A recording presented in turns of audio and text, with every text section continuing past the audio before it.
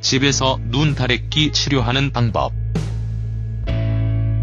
눈다래끼는 눈꺼풀 아래쪽 샘에 염증이 생긴 것이다. 심각한 것은 아니지만 걸거치고 아프다. 눈다래끼는 보통 박테리아에 감염된 것이다.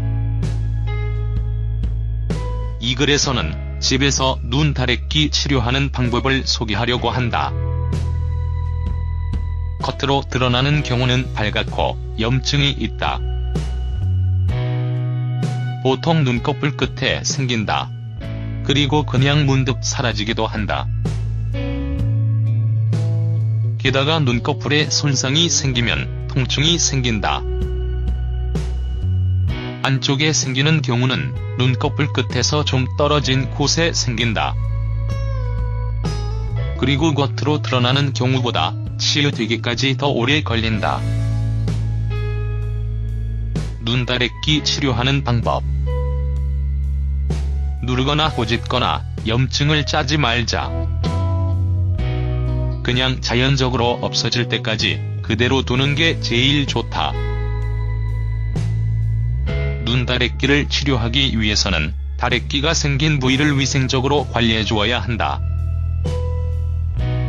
다래끼가 생긴 부위를 깨끗하게 관리해야 2차 감염을 예방할 수 있다. 몸을 따뜻하게 하는 것은 도움된다. 땀샘이 막혔을 때 도움된다. 결막염이나 오염 물질이 들어가서 다래끼가 생긴 경우에는 눈에 떨어뜨리는 항생제를 사용하면 좋다. 눈 화장을 하지 않는다.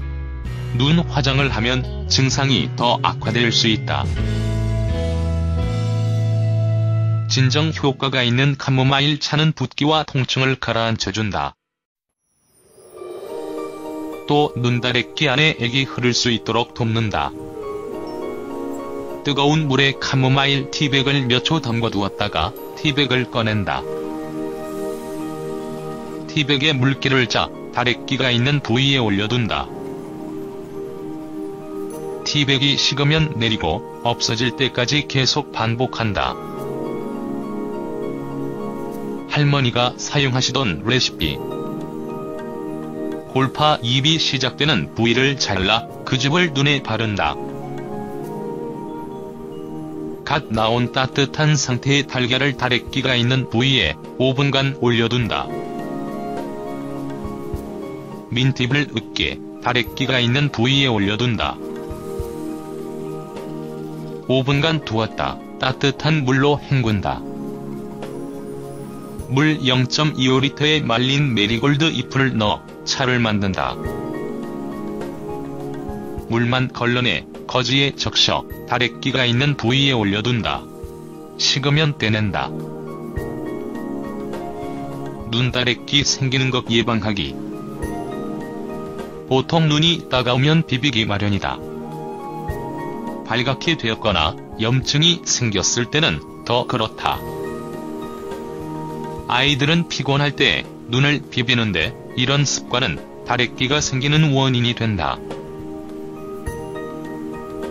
눈이 감염되는 것을 막기 위해서는 눈을 만지고 싶은 욕망을 참아야 한다. 또 손을 항상 깨끗하게 씻고 위생적인 상태로 유지해야 한다. 외출 후에는 비누로 손을 깨끗하게 씻어 박테리아를 제거해야 한다. 또 다래끼가 생기는 것을 예방하는 방법은 비타민 A를 풍부하게 섭취하는 것이다. 비타민 A는 면역력을 키우는데 도움되는 성분이다. 비타민 A는 보통 요리하는 과정에서 없어지는 성분이기 때문에 이 성분이 함유된 달걀이나 육류, 당근, 토마토, 호박, 시금치, 상추 등을 요리할 때는 주의하자.